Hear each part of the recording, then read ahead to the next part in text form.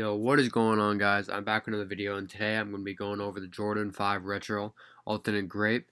Um, this shoe is a very, very clean shoe. I'm not a big fan of the Jordan 5, but I really like this shoe. I'm definitely going to go for this for personal. Um, the only Jordans I'm really like are the Jordan 1s and the Jordan 11s, uh, but these are really, really clean. Um, I really like the colorway with this. But uh, enough about my opinion on these shoes. Let's just get into uh, to the resale value and uh, and how to cop. So originally these shoes were going to drop on July 7th. Uh, today is uh, July 7th.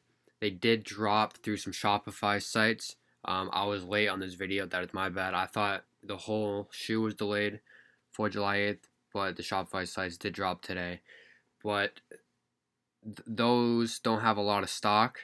So tomorrow, a majority and the rest of the stock will be releasing.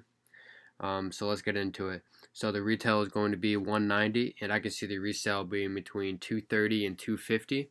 Um, as you can see right here, it is around that as we speak. Um, let's just look at some of the highest bids here.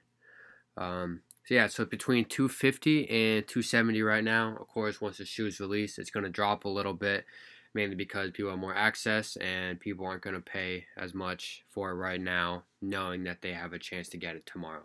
So I say, yeah, probably 230 to 250. Um, if you do get this sneaker, I would recommend selling on eBay because they have a 0% seller's fee um, for shoes over $100. So if you sell it on StockX, it may not be worth your time. Um, as you can see right here, for example, if we were going to sell one for 260 they would take out about 30 bucks uh, on ebay. You just got to pay for shipping which is going to be about 10 bucks a pair.